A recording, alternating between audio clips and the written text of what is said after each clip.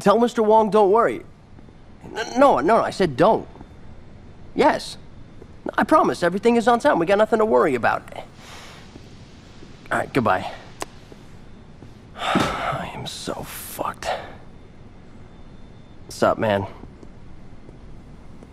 Got any extra time on your hands? This guy Wong put in a big order, and I'm having a shitty time finding the cars he asked for. If I don't deliver, I'm as good to him as a used condom. What do you think? Want to help me find a few rides?